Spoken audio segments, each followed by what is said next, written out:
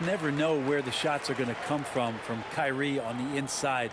So creative with his finishes.